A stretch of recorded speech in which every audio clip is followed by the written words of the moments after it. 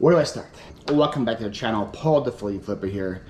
Now I know this is gonna be a different kind of video that you guys are used to. Usually guys see me at yard sales, go into different places, find different items to resell online. But something just happened today that I had to make a video about and I had to put it out for you guys so you guys are aware and hopefully you guys can contact somebody in eBay and tell them how idiotic this policy is. So what, what sparked this? Um, I sold a Fitbit watch, Fitbit Charge 3 watch. I got this at a yard sale for $3. It was brand new, sealed, pretty decent watch, sold for about 90 bucks on eBay. I sold it for $90 on eBay. The buyer started a return saying not as described, saying that the item wasn't brand new, even though it's still sealed. I got it back, as you see, different box, open box. The watch, not only is it not brand new anymore, it is in two pieces. Crusty, old pieces. So I got scared, right? It happens. It happens quite a bit, surprisingly. Uh, just how tolerant eBay are of buyers that scam people is, is insane to me. It happens quite a bit. So in the past, I get scammed. I have a partial refund tool. Um, it's not the greatest, but I still get some of my money back. So I was gonna refund the guy 45 bucks. Keep 45 from me. I'm still in the profit. I paid 3 for the watch. It's not as good as 90. It is what it is. I'll suck it up. Blah, blah, blah. I go to give a partial refund. Not available. The tool is not there anymore. I call an eBay rep and they're like, yeah, for 90 days we took that tool away because you've been giving too many partial refunds. And I was like, okay, but can you tell me which one of these partial refunds was not justified for the for the actions that I got? Every single time it was a partial refund was because something was either a wrong INAD or it was sent to me in the same way I did. It was used, it was damaged. Can you give me one example of where I misused the policy? And the people said, no, we can't, you just use it too much. So they, so pretty much, apparently if you get scammed too much times on eBay, they're like, whatever, we're just gonna stop protecting the guy. So I'm like, okay, what can we do about this? And he says, nothing. Nothing you can be done about this. It's your word against his.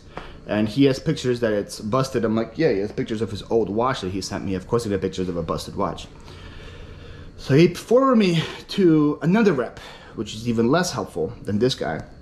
And the other rep said for 90 days, they took away the, the refund tool from me for 90 days.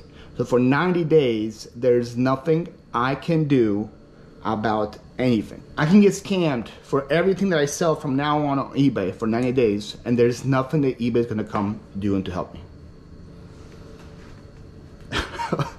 Why would I, as a seller, do list on that platform now? I'm just thinking about it. I have multiple items that are 100, 200, 300, 400, 500 dollars. And they're saying for 90 days, somebody can go and buy that item from me, uh, send me back an empty box with nothing in it, and there's nothing they're gonna do to help me eBay, what is this? What kind of policy is this? How does this make sense in your brain to treat sellers like this? Uh, I told them uh, I am legit debating. I'm still debating right now because I just got off the phone with them of taking down all my listings and just listing on Mercari, on Poshmark, on Facebook for 90 days is going to kill my sales. The I know that, but at least I know I have protection. It's just so so frustrating, man. It's so frustrating uh, just just to to to give so much effort to a platform and then have them reward you with this is just oh my goodness. So yeah, I just want to let you guys know it's gonna be a very short video that this policy is now in place. And make sure you guys go check to see if you guys are not in this nine day umbrella on eBay. Make sure you guys are protected. And please, if you're watching this, forward it, email it to, to all eBay's Instagrams, Twitters, Facebooks, e every email you have, email this link so eBay can see this video and see how stupid that policy is. And so they can change it. It's, it's just that simple. Because like right now, like I am scared now. Anytime I get a sale, I, I, I just got a $120 sale right now.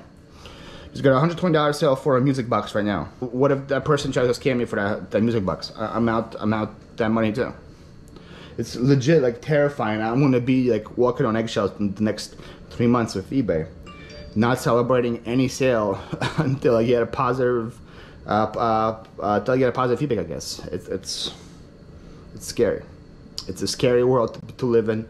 It's a scary world where your bills rely on this, when your rent relies on this, when all this relies on this, and you put so much years of effort into building this business, and eBay can just go in one second and say, sorry, you're screwed. It's scary and it's not fair. So eBay, if you're watching, please fix it.